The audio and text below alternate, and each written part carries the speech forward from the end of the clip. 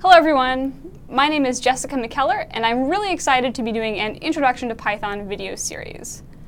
This class is for first-time programmers, so there are zero prerequisites. We'll walk through setting up your development environment together and then learn and practice Python through a series of fun and interactive lectures and exercises.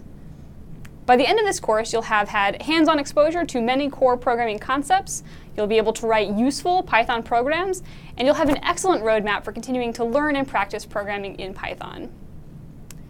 A really important part of this class that is different from a lot of other introductory programming classes is the emphasis on real-world practice, developing the confidence and fluency to take a real problem and break it down and solve it in Python from scratch. I've spent a lot of time teaching first-time programmers. I'm actually a director for the Python Software Foundation and an organizer for the largest Python user group in the world in Boston. With that group, I've had the pleasure of teaching hundreds of people how to program and see that experience honestly change their lives.